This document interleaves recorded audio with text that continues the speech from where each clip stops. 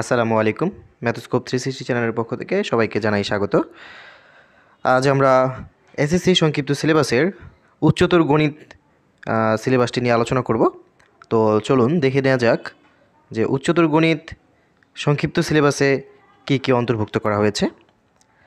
তো আমরা শুরুতেই দেখতে পাচ্ছি যে প্রথমেই সপ্তম অধ্যায়, অর্থাৎ অসীম ধারা যে চ্যাপ্টারটি রয়েছে, সেই চ্যাপ্টারটি থেকে কিছু পাঠ এখানে নির্ধারিত করে দেওয়া হয়েছে। যেমন হচ্ছে অনুক্রম, অসীম ধারা, অসীম গুণোত্তর ধারা, অসীম গুণোত্তর ধারার সমষ্টি, আবৃত্ত দশমিক সংখ্যাকে অনন্ত গুণত্ব ধারায় প্রকাশ এবং সাধারণ ভগ্নাংশে রূপান্তর। অর্থাৎ এখানে আমরা ওই অসীম ধারাতে যে চ্যাপ্টারটা রয়েছে, সেখানে আমরা যেমন বিভিন্ন বিষয়গুলো যে রয়েছে, এখানে মূলত সাধারণত অসীম ধারা থেকে যেভাবে সচরাচর কোয়েশ্চেন হয়, সেই কোয়েশ্চেনগুলোই এবার পরীক্ষা তো অন্তর্ভুক্ত করা হবে। তো এখানে দেখা গেছে যে সপ্তম অধ্যায় থেকে শুরু করা হয়েছে। তার মানে এই এক থেকে ছয় পর্যন্ত যে অধ্যায়গুলো রয়েছে বীজগণিতের, সেই অধ্যায়গুলোকে কিন্তু এখানে বাদ দেওয়া হয়েছে। তারপরে দেখা যাচ্ছে ত্রিকোণমিতি অংশ থেকে এখানে অষ্টম অধ্যায়ে যে ত্রিকোণমিতি রয়েছে আটের এক, আটের দুই এবং আটের তিন সেই চ্যাপ্টারগুলোকে অন্তর্ভুক্ত করা হয়েছে। যেমন এখানে কিছু পাঠের বিষয়বস্তু উল্লেখ করা রয়েছে।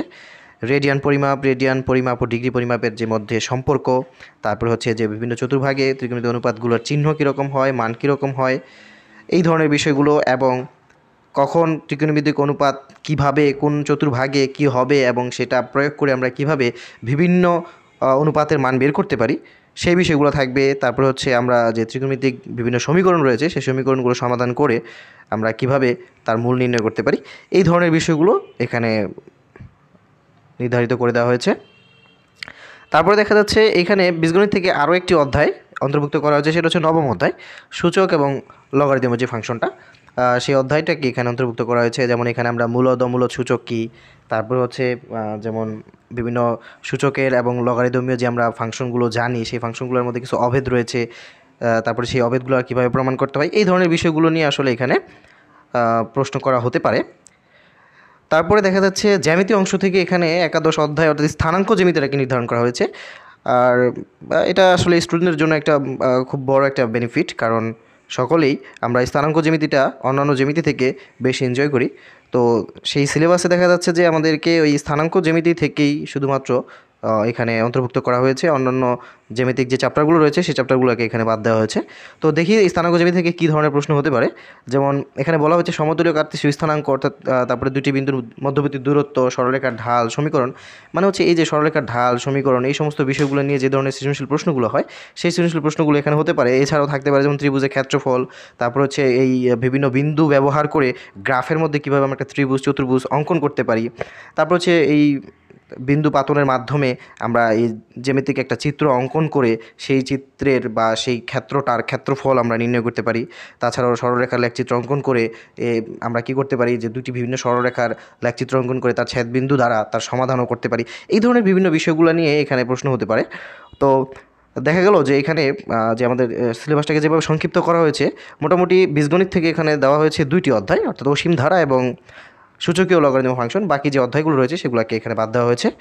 আর ত্রিকোণমিতি থেকে দেখা যাচ্ছে যে এখানে শুধুমাত্র ত্রিকোণমিতি দেওয়া হয়েছে, যদিও আমরা জানি যেমন ত্রিকোণমিতি এবং সম্ভাবনা থেকে কোশ্চেনটা একটা নির্দিষ্ট বিভাগে করা হয়, অর্থাৎ গ বিভাগে ত্রিকোণমিতি এবং সম্ভাবনা থেকে প্রশ্ন করা হয়। যেহেতু এখানে সম্ভাবনা চ্যাপ্টারটি অন্তর্ভুক্ত করেনি, তাহলে এবার সম্ভাবনা থেকে কোনো প্রশ্ন থাকছে না, অর্থাৎ ত্রিকোণমিতি থেকে দুটি প্রশ্ন থাকবে গ বিভাগে। আর খ বিভাগ তো ছিল আমাদের জ্যামিতি সো জ্যামিতি থেকে এখানে মূলত একটি চ্যাপ্টার স্থানাঙ্ক জ্যামিতি। তার মানে এখানে হচ্ছে সম্পাদ্য উপপাদ্যের ঝামেলাগুলো কমে গেছে, তারপর হচ্ছে ভ্যাক্টরের যে ঝামেলাগুলো, সেগুলো কমে গেছে। অর্থাৎ এই স্থানাঙ্ক জ্যামিতি থেকেই এখানে পুরো প্রশ্নটা করা হবে। দেন হচ্ছে ওই যেটা ক বিভাগে বীজগণিতিক, তো এখানে আমরা শুরুতে বললাম যে বীজগণিত বীজগণিত অংশ থেকে এখানে আসলে দুটি চ্যাপ্টার অন্তর্ভুক্ত করা হয়েছে, অসীম ধারা এবং সূচক লগারিদম ফাংশন তো বীজগণিত অংশ থেকে যে তিনটি প্রশ্ন থাকে, আসলে এই দুটি চ্যাপ্টার থেকেই দুটি প্রশ্ন হওয়ার সম্ভাবনা আছে। তবে এতটুকু অনুমান করা যায় যে অসীম ধারা চ্যাপ্টারটি থেকে মনে হয় না দুটি প্রশ্ন করবে, তো একটি প্রশ্ন করার সম্ভাবনাটাই বেশি, আর সূচক এবং লগারিদম চ্যাপ্টার থেকে দুটি প্রশ্ন করতে পারে।